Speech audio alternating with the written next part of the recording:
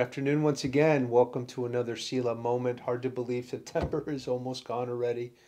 Uh, and something called Family Fun Night is just around the corner here in our church on October 31st. We pray uh, that all of you will come out and attend and uh, just have a beautiful evening. It's on a Sunday, so what a beautiful day the Lord's Day is going to be on that day to not only come, worship Him in His house, but then come back to His property so we can continue to praise and uh, and adore his name. So we just pray uh, that you enjoy um, uh, next month uh, on October 31st. Uh, but for now, as we have paused to um, go into uh, the Lord's presence uh, with our Selah moment, we're going to continue and finish up our study with Saul and the conversion from Saul, how God um, has chosen him.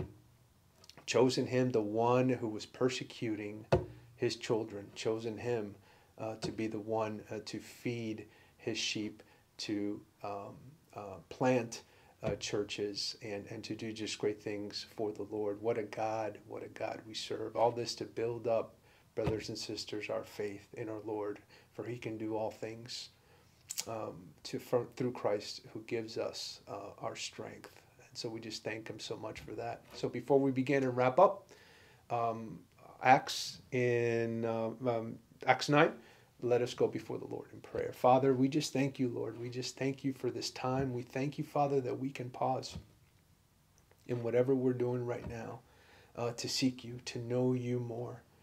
That is your desire for us, fathers, to do just that. And so we just thank you. We pray, Father, that our effort to do just that, to, to stop and to pray and to think of you and to meditate on you and your word to transform us is pleasing to you, Father, for you are so worthy. Uh, so be with us now as we go into your word to learn more of you, to learn more of your decision to choose this man, Saul, to do great things for your kingdom. In Jesus' name we pray.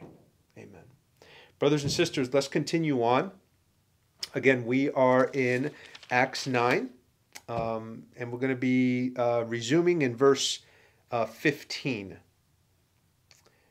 But the Lord said, the Lord said to uh, Aeneas, Go, for Saul is my chosen instrument, chosen. He chooses you, he chooses me, uh, brothers and sisters, uh, to serve him mightily all we have to do is say yes to his call and just hang on and enjoy the ride. We just pray. Can we just thank God for, for him choosing us, for him choosing us uh, to be his son, to be his daughter, for him to choose us to serve him, for him to choose us um, to bless us and to keep us. Love that from, from God. For he is my chosen instrument to take my message to the Gentiles and the kings, as well as to the people of Israel and I will show him how much he must suffer for my name's sake. So Aeneas went and found Saul, just as the Lord gave him the vision. He laid his hands on him and said, Brother Saul, the Lord Jesus, who appeared to you on the road, has sent me so that you might regain your sight and be filled with the Holy Spirit. If that doesn't infuse in, in, in Saul that he's already seen him, he's already heard his voice physically. And now the healing that's going to take place, God is just giving him a message to say, now you're mine and you're going to be used for my will to be done. And I got to believe that this exercise right here um, was not a coincidence. It's really to get his child's attention to know we got to go about my business now. And verse 18 tells us instantly something like scales fell from Saul's eyes, and he regained his sight.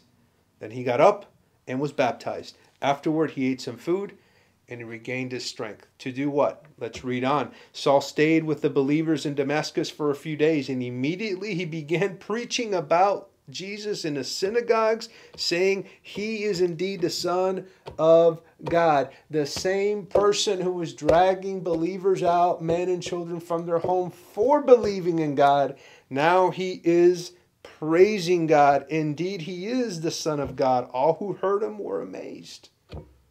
Part of God's divine plan. I would be amazed too. Wish we were there. Isn't this the same man who caused such devastation among Jesus' followers in Jerusalem? They asked. And didn't he come here to arrest them and to take them in chains to the leading priests? Saul's preachings became more and more powerful, and the Jews in Damascus couldn't refute his proofs that Jesus was indeed the Messiah. Praise God. After a while, some of the Jews plotted against to kill him. And here's where God's protection is because once we are in God's will, nothing can stop us, brothers and sisters. And so here we are again. Saul knew this because he was on the other side in terms of persecuting, in terms of plotting, in terms of killing. But they were watching for him day and night and the, at the city gate so they could murder him. But Saul was told about their plot. I wonder, I wonder who told them about their plot. But the ones that he is using to tell Saul, who told them? It's got to believe it. Got to believe that that is is God right there in His sovereignty and His protection. So during the night, some of the other believers lowered him in a large basket through an opening in the city wall. When Saul arrived in Jerusalem, he tried to meet with the believers, but they were all afraid of him. They did not believe he truly became a believer. Then Barnabas brought him to the apostles and told them how Saul had seen the Lord on the way to Damascus and how the Lord had spoken to Saul. And he also told them that Saul had preached boldly in the name of Jesus in Damascus. Who else could have done this? It just brings glory and honor to our Lord. So Saul stayed with the apostles and went all around Jerusalem with them, preaching boldly in the name of the Lord. He debated with some Greek speaking Jews but they tried to murder him. When the believers heard about this, they took him down to Caesarea and sent him away to Tarsus, his hometown. Again, provision and protection over him all. And then what's the result of God's grace here? What is the result of all that Saul is doing now, preaching the word of the Lord? What is the result? Brothers and sisters, in verse 31, the church then had peace throughout Judea, Galilee, and Samaria. And it became stronger as the believers lived in the fear of the Lord. And with the encouragement of the Holy Spirit, it also grew in numbers. He did this all through a man who hated him, who despised him. He used him to grow in numbers encouragement in the Holy Spirit throughout the land. Brothers and sisters, what he did here, what more, what else can't he do for you and for me? What else? Our faith needs to be dependent upon him. Draw closer in the Word. Go to him in prayer each and every day. Fellowship with one another. Let's encourage one another in all our ways, for he is good and he is worthy of all praise. For he is our shepherd, and we have all that we need. He lets us rest in green meadows. He leads us beside peaceful streams. He renews our strength.